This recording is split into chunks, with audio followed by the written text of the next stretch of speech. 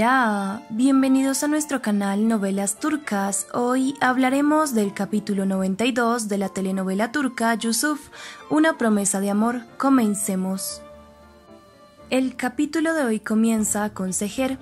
Ella está muy angustiada por Yaman, ya que han pasado un par de horas y no ha regresado al hotel, ni tampoco logra contactarlo.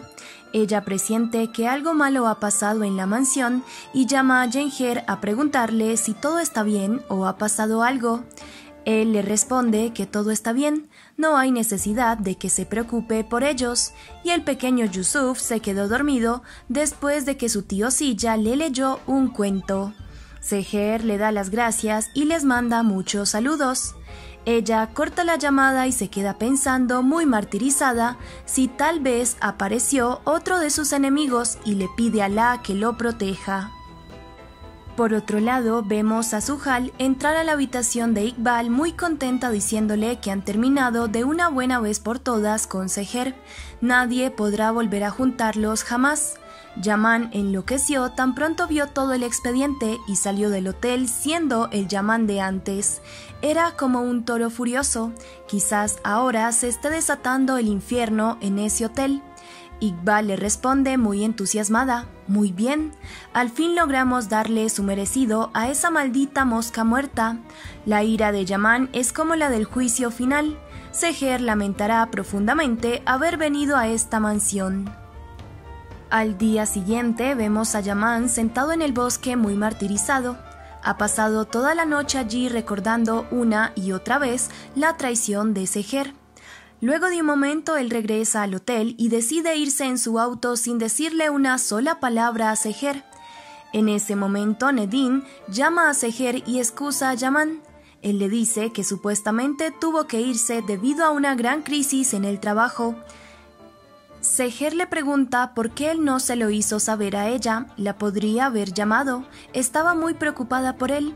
Nedim le responde que no lo sabe, ellos no pudieron hablar mucho, estaba en una reunión. Seher le responde que está bien y le agradece mucho por haberla llamado. Seher regresa a la habitación ya que también se había quedado esperando a Yaman toda la noche en la portería y luego de darse una ducha empieza a empacar las cosas muy pensativa y se dice a ella misma esto no puede ser solo trabajo, hay algo más, de lo contrario no se iría sin decirme nada. Entre tanto vemos a Firat trabajando en la estación de policía y se sorprende al ver a Neslihan ella ha ido a llevarle un pastel que preparó ella misma en agradecimiento por haberse esforzado tanto al encontrar su bolso. Firad no para de sonreír y le dice con su voz entrecortada de la felicidad que se lo agradece mucho. Es un gran presente. Neslihan le dice que ya no les quitará más tiempo y espera que disfruten el pastel. Firad se despide y le dice que fue un placer verla. Neslihan se va e Ibrahim le dice a Firat al verlo tan enamorado, estás peor que yo. Minutos más tarde, en la mansión, Seher regresa con sus maletas y Janger le da la bienvenida. Él le pregunta, sorprendido por el señor Yaman, y Seher le responde que tuvo que salir del hotel urgentemente. Creo que hay un problema en el trabajo, así que volví sola. Suhal e Iqbal se quedan aterradas al ver a Seher nuevamente en la mansión.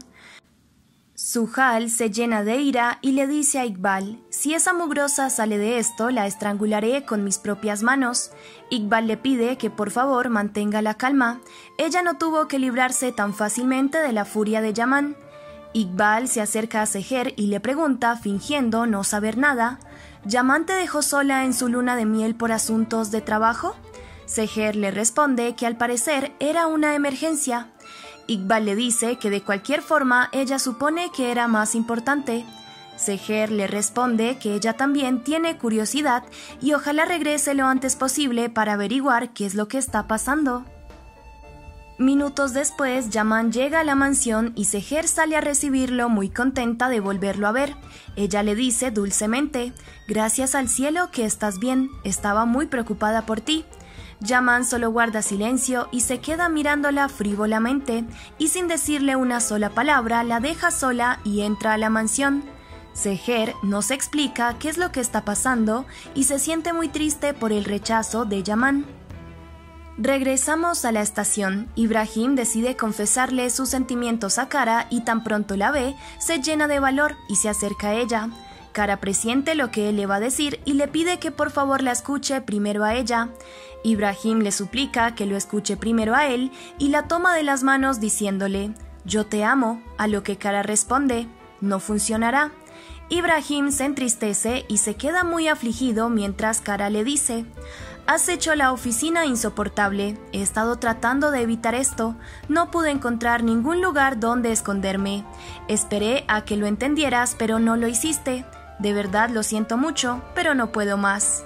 Cara se va e Ibrahim se queda muy triste, ya que no esperaba el rechazo de Cara y estaba ilusionado con que ella también lo amara. Regresamos a la mansión. Yaman se encierra en su habitación recordando los buenos momentos que ha pasado con Seher y cada vez más no logra soportar su ira. Yaman toma el bolígrafo que le obsequió Seher en sus manos y en ese momento entra Seher a la habitación. Ella se acerca a él y le dice muy conmovida, estaba muy preocupada por ti. Si hay algo que te preocupa, yo te puedo escuchar, Yaman.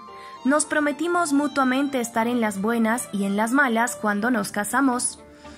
Yaman rompe el bolígrafo furioso mientras le dice a Seher, suficiente.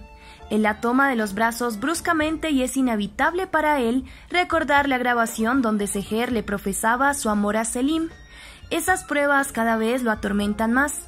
Seher le pregunta con lágrimas en sus ojos, ¿qué sucede? Yaman solo se queda mirándola violentamente sin decirle una sola palabra más y se va rápidamente de la mansión en su auto con una pistola. Seher recoge los pedazos del bolígrafo y se pregunta ¿por qué está enojado? No entiendo qué pasa.